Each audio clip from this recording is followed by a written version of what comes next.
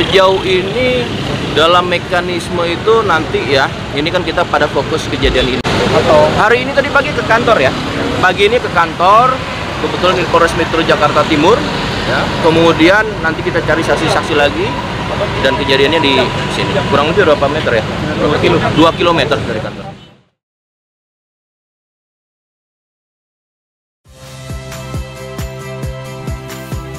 saya Iriana Mardanus, saksikan program-program Kompas TV melalui siaran digital, pay TV, atau media streaming lainnya.